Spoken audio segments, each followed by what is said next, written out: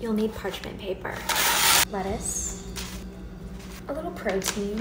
These are plant-based deli slices, some cheese, some leftovers, a variety of vegetables.